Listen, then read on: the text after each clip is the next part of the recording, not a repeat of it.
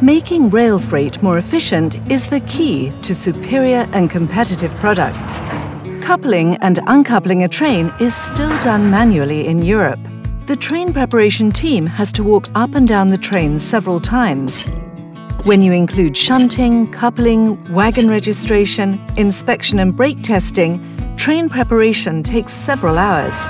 Manual processes also pose risks to employee safety. Rail freight also faces a multitude of other challenges, such as including infrastructure capacity challenges, inadequate access and allocation, and lack of interoperability. It therefore does not meet customer needs in today's digital world.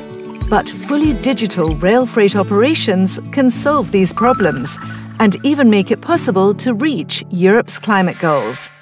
The Digital Automatic Coupler, or DAC, is a key game changer for European rail freight and an enabler for further automation components. In addition to automatic coupling, the introduction of power and data lines via a digital automatic coupler also allows the automation of train preparation processes, such as the registration of wagon order, the wagons themselves, brake testing and technical inspection. Complex manual processes are thus completely automated.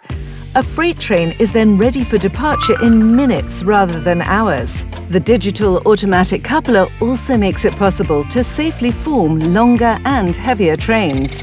This is a crucial step towards greater efficiency and productivity in rail freight transport. Data communication along the entire train enables electronically controlled braking systems, which means the speed can be increased and the braking distances shortened.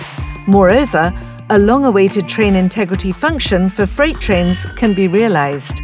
With this function, trains can operate more densely on the network using moving block operation under ETCS Level 3.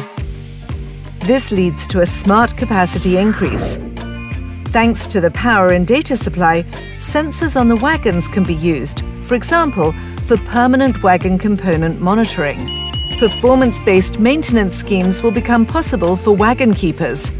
Digital operations and freight monitoring are the cornerstones for integrating rail freight transport into digital logistics chains.